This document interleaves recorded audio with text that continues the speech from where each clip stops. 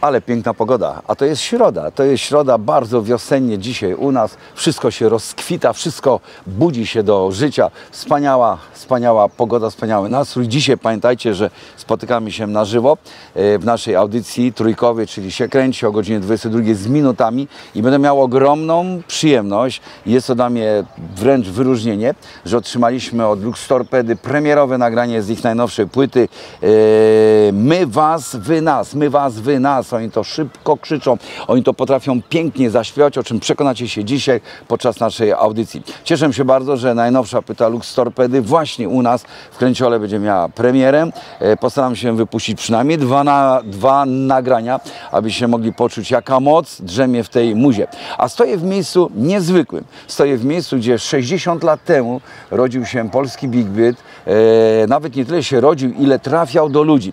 Za mną budynek hali Mirowskiej, ta część hali Mirowskiej, bo są dwa budynki. Pierwszy to jest ta właśnie hala Mirowska, gdzie e, jest duży supermarket. W tym drugim jest także supermarket, ale przez wiele lat pełnił on rolę klubu Gwardia, to się tak nazywało. Między innymi tutaj starszano walki bokserskie. Widownia była specyficzna, pod wysokim kątem, a więc dużo ludzi mogło świetnie oglądać wszystko to, co się tutaj działo. I tutaj prawie 60 lat temu odbywały się koncerty rockowe. Tutaj także miał miejsce festiwal Marchewka. To właśnie festiwal Marchewka pobudził mnie do tego, co robię dzisiaj od strony muzycznej. Sala była nabita ludźmi. Co się tutaj działo? To był pierwszy taki bardzo awangardowy koncert, festiwal z artystami ze świata, z tłumem ludzi, którzy byli spragnieni tego rodzaju muzyki. Ale chcę Wam pokazać fragmencik filmu Mocne Uderzenie, filmu, który używaliśmy już w naszych różnych nagraniach, który oddaje klimat tego, co się tutaj kiedyś działo kilkadziesiąt lat temu.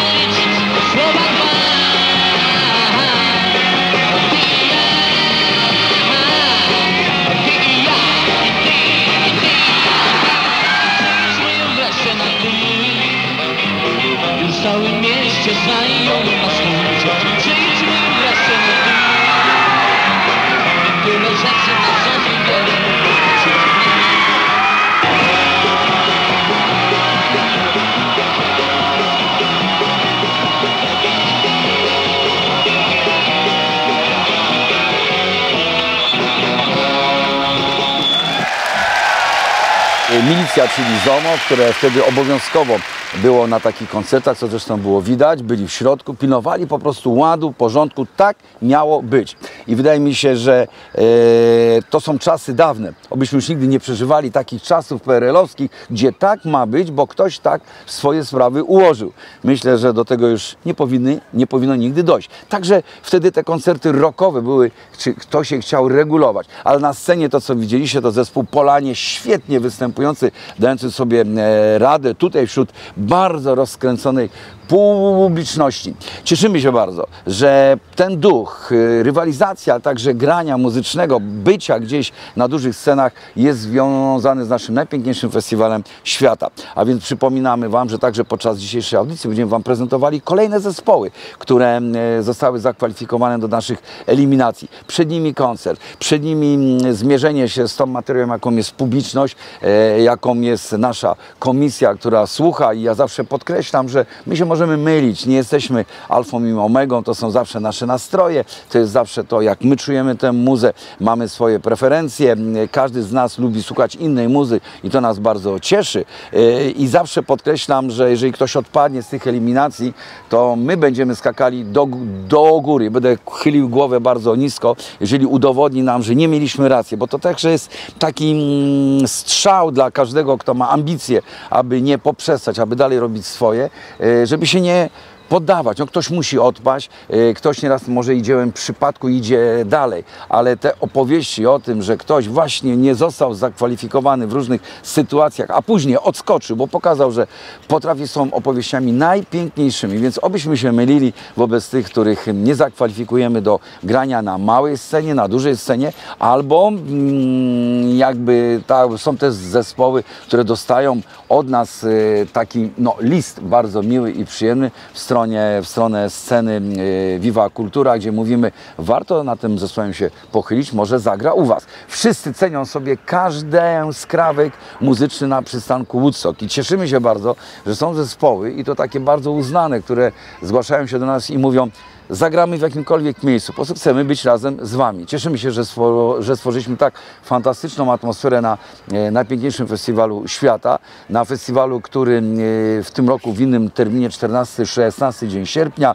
Na festiwalu, o którym już mówiliśmy w Gorzowie Wielkopolskim na spotkaniu e, z panem wojewodą i miłym było usłyszeć, że e, wszyscy i pan wojewoda i podległe mu służby czekają na mm, kolejny festiwal, czekają na to, że bardzo dużo ludzi będzie chciało przyjechać do, na ziemię lubuską, odwiedzić Gorzów, odwiedzić Zieloną Górę, odwiedzić Kostrzyn, wpaść na nasz festiwal, bawić się z nami. My do tego się przygotowujemy bardzo dobrze, o czym także świadczą nasze wszystkie szkolenia pokojowego patrolu. Zapraszamy bardzo, bardzo, bardzo gorąco, wpadajcie do nas, wchodźcie na nasze strony internetowe. I także uwaga, jutro we czwartek będziecie mogli być od godziny 16 ze, stra, ze strażakiem. Strażak jest to człowiek, który mm, przeszedł wszystkie szczeble e, naszego bycia w fundacji, a więc strażak od mm, wolontariusza, e, poprzez e, człowieka, który się zgłosił na pokojowy patrol, czerwona koszulka, potem był liderem, a dzisiaj jest szefem, dowodzi całym patrolem.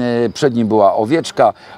Owieczka teraz gdzieś w świecie zdobywa swoje nowe doświadczenie, a strażak jest tym, który Wam odpowie na każde pytanie. Od godziny 16 na mm, naszych stronach internetowych możecie zapytać strażaka o wszystko, a więc dowiedzieć się, uwaga, schylam się, już się podnoszę. E, i możecie dowiedzieć się o wszystko, o czym strażak Wam będzie mógł opowiedzieć, w jaki sposób szkolimy, w jaki sposób zdobywamy te umiejętności i w jaki sposób pracujemy na najpiękniejszym festiwalu świata. I nie tylko, bo także pokojowy patrol będzie na pewno związany z wieloma imprezami, tymi wydarzeniami, chociażby dziełem, dniem młodzieży, która spotka się z e, papieżem dwa tygodnie później po naszym najpiękniejszym festiwalu. Wchodźcie także na nasze strony internetowe, aby głosować w plebiscycie Złotego Bączka. To są bardzo ważne głosowania, bo uwaga, zaczynają się ruchy. A więc zespoły zaczynają więcej na swoich stronach internetowych informować, te zwłaszcza z czołówki małej i dużej sceny, a więc tam odczuliśmy bardzo duże ruchy. Wasze głosy są niezwykle ważne i na końcu pamiętajcie o tym, żeby wpaść na któryś z naszych e, klubowych eliminacji. Ja niezmiennie przypominam, że zaczynamy 9 kwietnia w Pradze, potem 16 dzień kwietnia Wrocław, 30 kwietnia Łódź, 14 maja Gdańsk, 4 czerwca Poznań, tam będą finały, a w niedzielę o godzinie 20 w Antyradiu koncert zespołu Lao 3 o godzinie 20, ale także jutro, już jutro o godzinie 18 u nas na naszych stronach internetowych retransmisja koncertu Jamaram z Woodstock 2015. Ja przypominam także, że do naszych wszystkich listów, jeżeli korespondujemy z Wami, dołączamy taki nasz najnowszy informator. To są najświeższe wiadomości związane z tym, jak pracuje fundacja, co robi fundacja. Jest w języku polskim, języku angielskim. To jest bardzo ważne, ponieważ mm, zwłaszcza teraz, e, po zakończonym niezwykłym finale, niezwy, niezwykle pięknym, rekordowym, co raz spotykamy kogoś, e, kto nam gratuluje, kto się cieszy z tego. E, ważnym jest także, żeby pokazać, jak bardzo solidnie fundacja pracuje, jak te liczby się zmieniają. Informator z zeszłego roku roku jest już po prostu nieaktualny. To nawet nie rok, ale pół roku wystarczy, aby te liczby były nieaktualne. Za moment będziemy Was informowali już o naszych decyzjach y, związanych z zakładami opiekuńczo-leczniczymi. Nie ma takiej organizacji w Polsce, nie ma takiej grupy ludzi, nie ma tak takich pasjonatów jak my, którzy już po finale mamy mm, marzec, już mamy te pierwsze e, pomysły na, za, na zakupy ustalone. E, Jest to wynik naszej niezwykle cierpliwej pracy, kontaktu ze wszystkimi ośrodkami, które się do nas zgłosiły, e, rozróżnieniu, który jest prywatny i nie może dostać takiej pomocy, a który jest państwowy, jest publiczny, o może tak to jest lepsza nazwa, i taką pomoc otrzyma. Pracujemy pełną parą i pozdrawiamy niezmiennie tych wszystkich gamoni, którzy szukają dziury w całym, a więc tylko się tym zajmują.